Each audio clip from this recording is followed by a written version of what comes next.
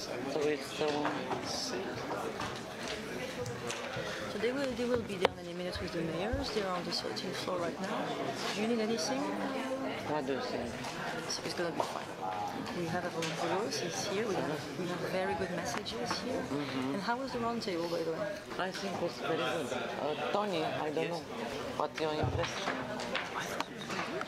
I thought it was very good. I mean, uh, it was in a way it was more consensual than I expected. I mean, they shared a lot of the same uh, points. I mean, they talked about problems, but it wasn't. Uh, I mean, they were very positive about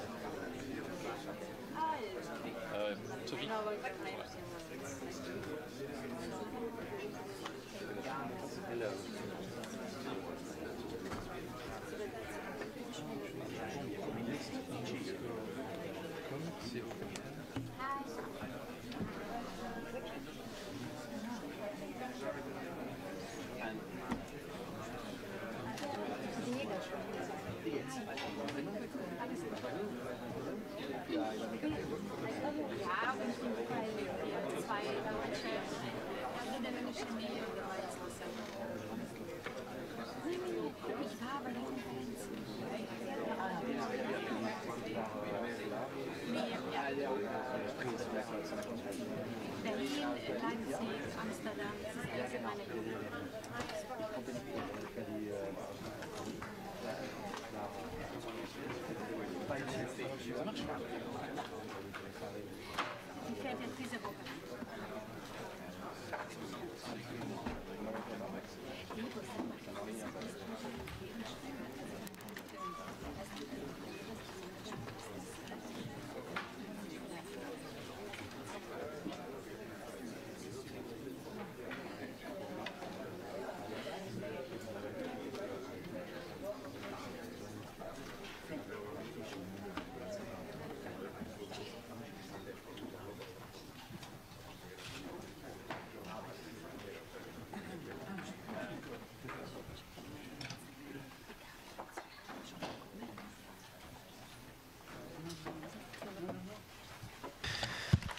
Ladies and gentlemen, good afternoon. Uh, welcome to this press conference on uh, the integration of migrants in cities, uh, which follows on from uh, a round table that took place this morning, uh, just a few floors up from here, um, organised uh, the initiative of Commissioner Crețu sitting next to me in cooperation with Commissioner Avramopoulos, who's joining us just fresh back from Turkey. Um, we have interpretation available for this press conference in English, French and Spanish. The press conference is being web streamed as well, so welcome to everybody watching us via web streaming. Uh, we'll begin straight away with a short statement uh, from Commissioner Crețu and from Commissioner Avramopoulos, uh, and then we'll open the floor to questions addressed to the two commissioners or to the uh, mayors and vice mayors present here who participated in the roundtable this morning. Commissioner. Thank you very much. Uh, good afternoon. I was very pleased to welcome here in Brussels, together with uh, Commissioner Avramopoulos, the mayors and vice mayors of uh, Amsterdam, uh, Athens, Barcelona, Berlin, Ghent, Leipzig, and Paris, for this roundtable round on how to strengthen uh, the integration of migrants uh, in cities. And I would like to thank also the relevant ONGs, uh, NGOs, um, civil society, Red Cross, UN, Eurocities, and also, of course, our services, DG Home, DG Employment, DG Regio, of course. we wanted to meet personally the mayors in this um, um, very tough uh, uh, times and I think it was very important to meet today and especially now after the barbaric attacks of the 22nd of March I think this is another signal another symbol that, uh, about European unity and solidarity. Uh, as you know, uh, migration is the biggest uh, challenge we have ever had to face as a union. And uh, for months now, we have been working on a coordinated European response to address the emergency of the refugees. And uh, of course, in the first place, focus on short-term uh, action is uh, very important, but we all know that the most effective solution is to work uh, on the long term. And uh, our duty is to con contribute and uh, make um, in such a way to turn the migration challenge into an opportunity for all uh, by successfully integrating migrants in our societies.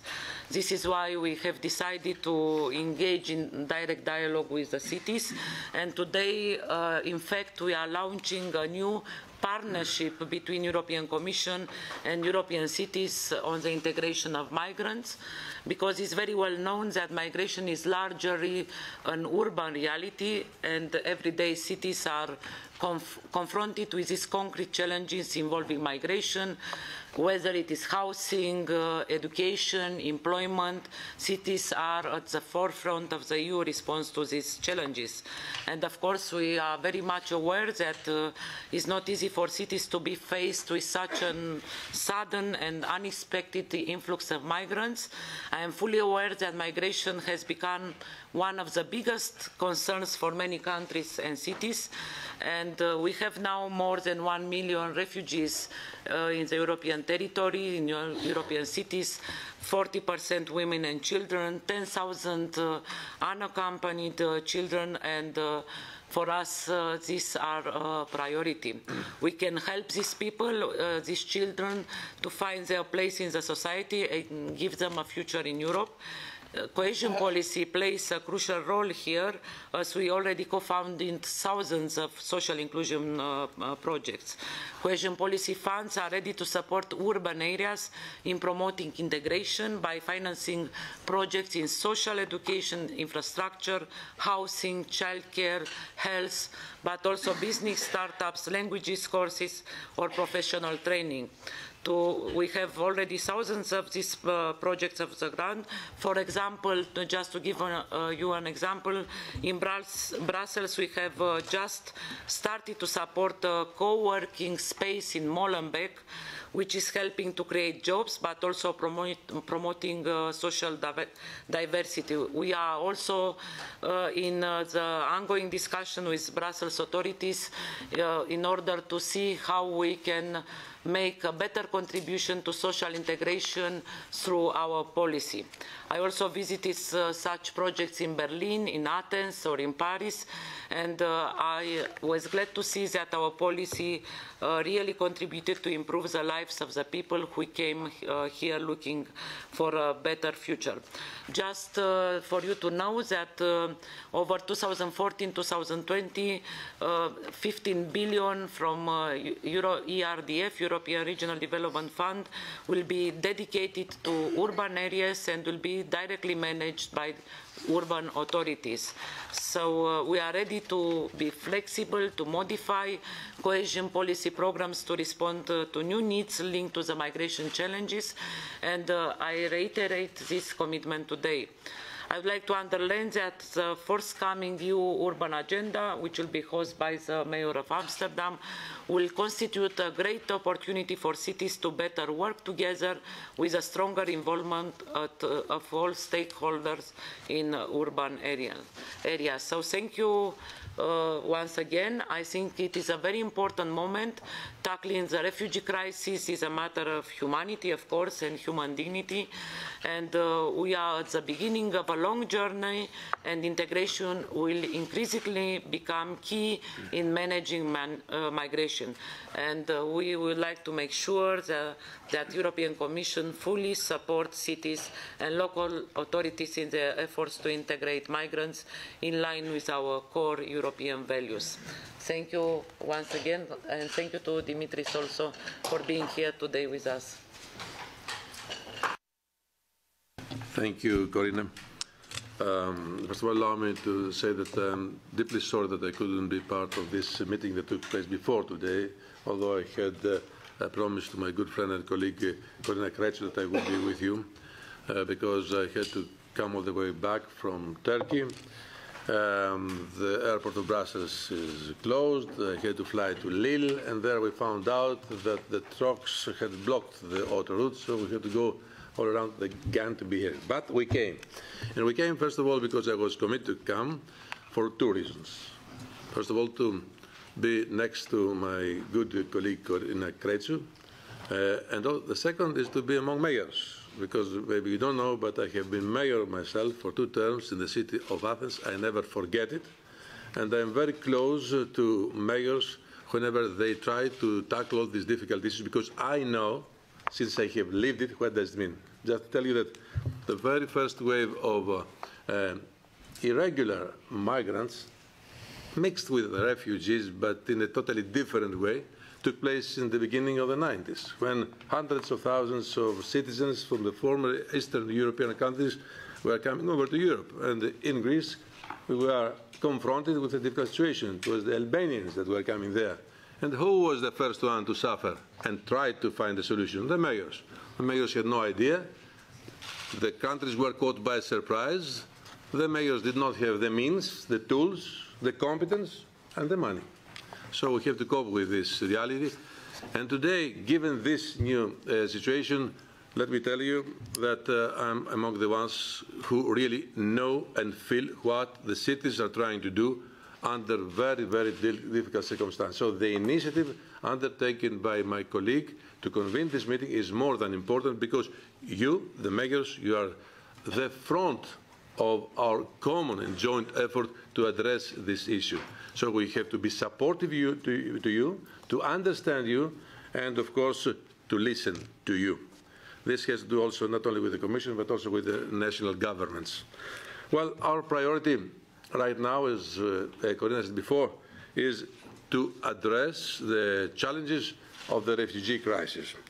Uh, as I told you, I have just come back from Turkey. Uh, I'm sure you have been following very closely uh, what uh, has happened there during the last days.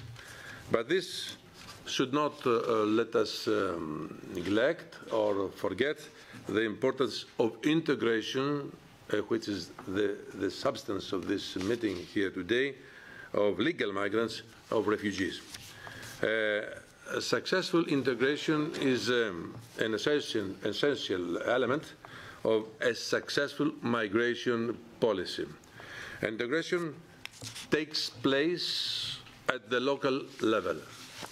This is why I'm grateful to Eurocities and, uh, of course, to my good uh, colleague Corina Crețu for having taken this initiative. Cities, as, I- as I said in the beginning, are at the front line of this uh, process. Mayors, local governments in general, municipalities have an important, substantial, crucial and major role in the integration process as they manage the challenge of welcoming migrants in their respective communities uh, on a day-to-day basis.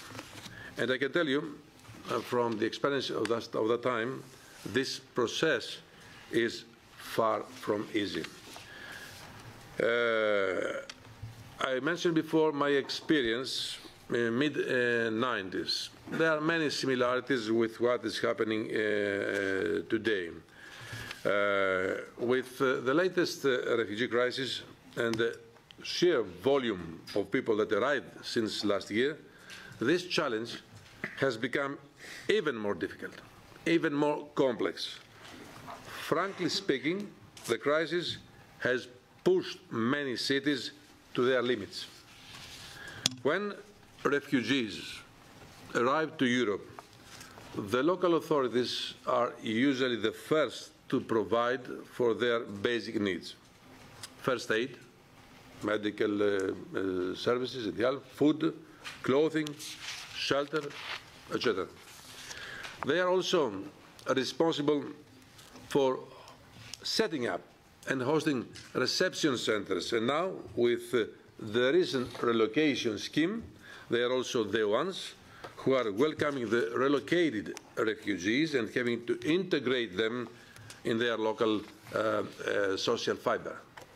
So we should recognize and uh, congratulate cities for their valuable work in dealing with the refugee crisis. In the Commission, we are very conscious of what is happening at this level. And as Corina said before, we are ready to provide you with the necessary help, understanding and support. This work is the ultimate expression of Europe's universal values solidarity, humanity, responsibility, dignity, and respect of human rights. The challenge of integration should, however, not make us forget the advantages of multicultural cities. Many of them are represented by their mayors around this table. A more culturally aware society and ethnically diverse work workforce can help in order to foster a culture of tolerance and acceptance of differences.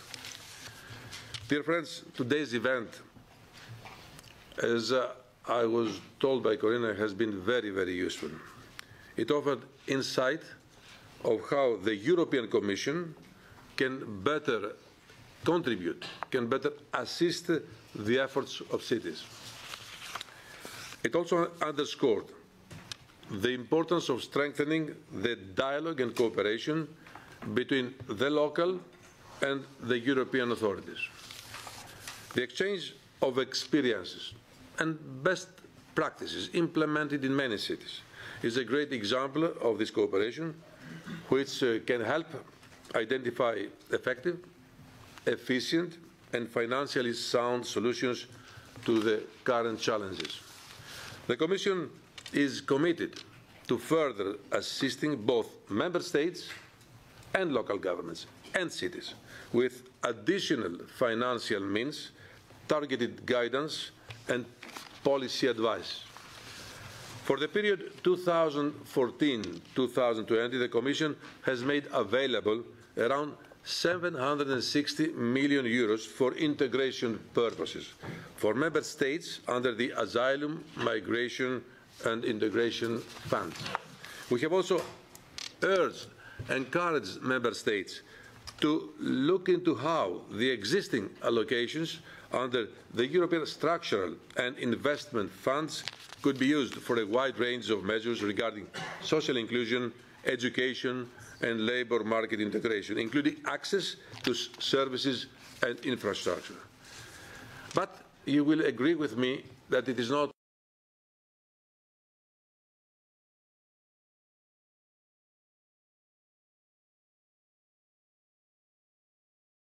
on integration.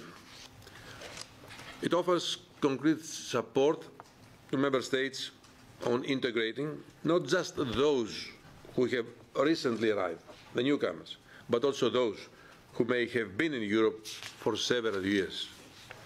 Let me here make a remark. It is to be questioned why all these young people who were born in our countries and they consider somehow our country's homeland, why one day they turn their guns against their own home? Is the question to be answered?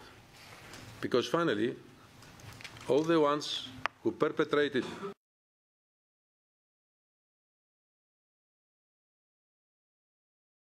the same route, but the question is here, why? So the answer is very simple. The integration policy has to be reconsidered and revised. And when we talk about integration, we come to the topic of this meeting here today. And we are very sensitive on that in the European Commission, as I'm sure this morning Corina had the uh, time and uh, the pleasure to express to you. One thing is clear.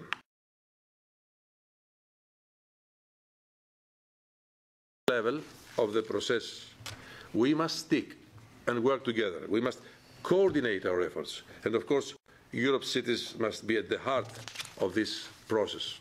So it is in this spirit I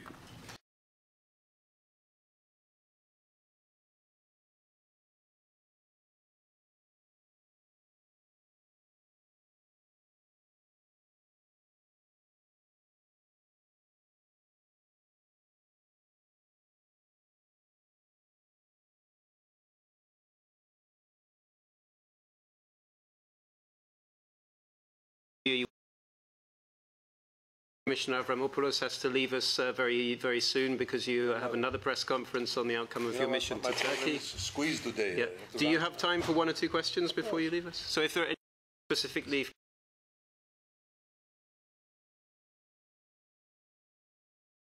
Thank you. I'm Francesc Serra from the Qatar. Uh, the mayor of Barcelona and also the Catalan government have uh, repeatedly asked the Spanish government to participate in the relocation scheme. They offer to, to welcome more than 4,000 refugees uh, to Barcelona, to Catalonia. I would like to know what should the Spanish government, and I'm sure that other uh, towns, other regions in Europe uh, want to do the same. What should the, the Spanish government do about this, this offer from the mayor from Barcelona, who is here, and also the Catalan government? Thank you. Microphone, microphone. Gab, let me start by telling you that we have an excellent cooperation with uh, the Spanish uh, government. As you know, the authorities of Europe, the institutions of Europe, have a, a direct line of cooperation with the governments of all member states. Now, on the second part of your question, I understand that there is also a very good cooperation between the government and the local authorities, not only Spain, but all around Europe. Now, when we say good cooperation, what do we mean? Not only in atmospherics, but also in practical terms. Because, as I said before, local governments, cities need the support of the European Union. But this help and this support goes through always national governments. The direct interlocutor of, institutionally speaking, of, of Europe are the governments of the member states. So, we have allocated money. We give all necessary support. We are here to discuss about all these issues because today it was not, it was not just one more meeting. Corina took note of what you said, and this will be discussed at the level of the Commission. Some of these issues might be discussed also at the level of the European uh, Parliament, and then at the level of Council. But as you know, as you know at the Council level,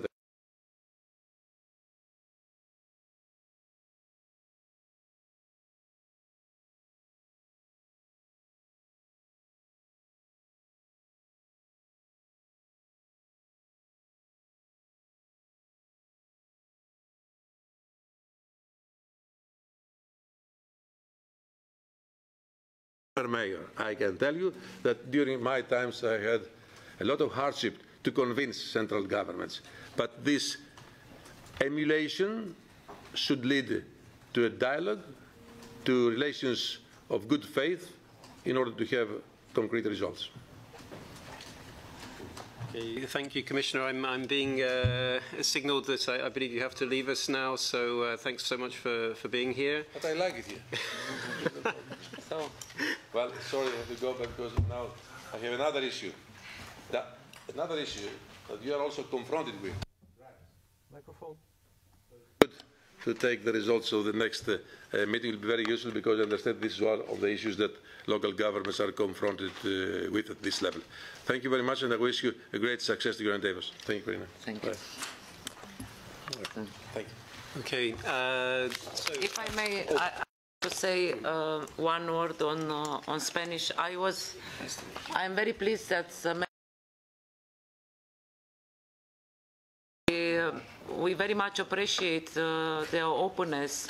I must say that uh, from our point of view, I did not receive any response uh, on my letter I addressed to the Spanish government asking uh, if they want to use uh, our funds for the purpose of, uh, of migrants.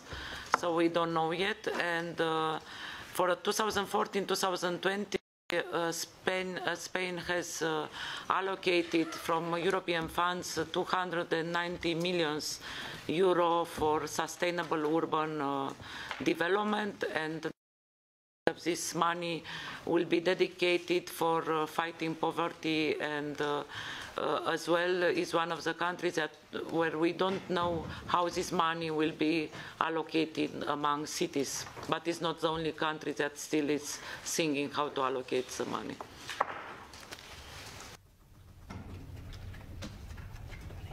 Uh, so I see several hands up there. Perhaps we could take a block of questions from this side of the room, uh, if you'd like to take it in turn.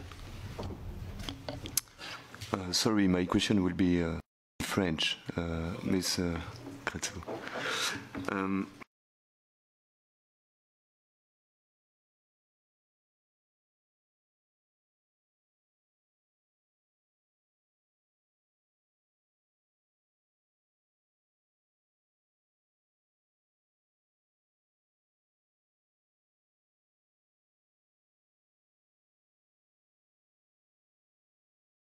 des fonds européens et la possibilité de aux États membres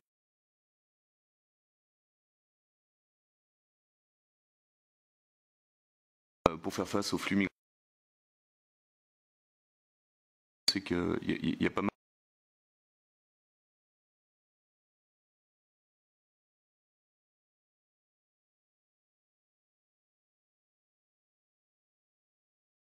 D'autre part, vous avez cité les chiffres disponibles pour, euh, pour euh, les questions migratoires.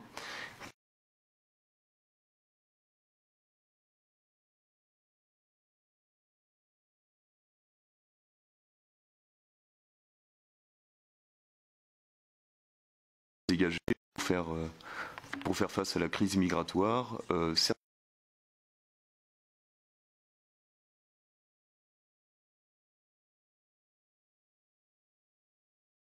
les municipalités et les villes qui souhaitent accueillir euh,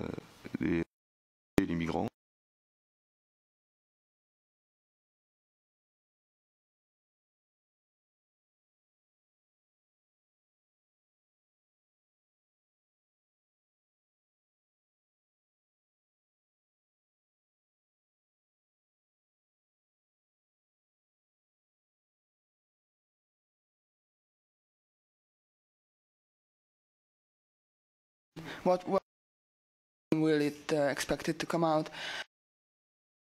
Vice Mayor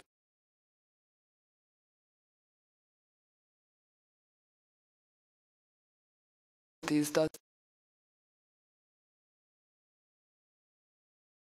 are the attitudes of the citizens. Thank you.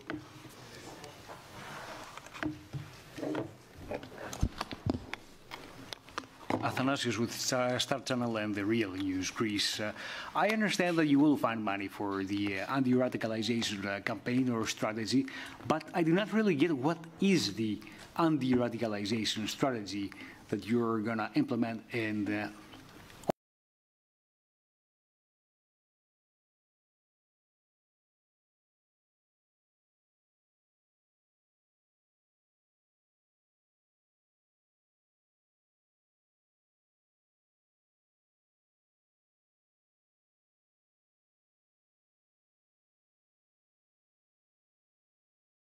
Um, I'll, I'll uh, uh, invite uh, Commissioner Crețu to respond, and then perhaps if any of the mayors or vice mayors Yes. wants to come in afterwards uh, in response to the question from our colleague from EU Observer. So, uh, first of all, about the reprogramming uh, funds. So, we said that we are very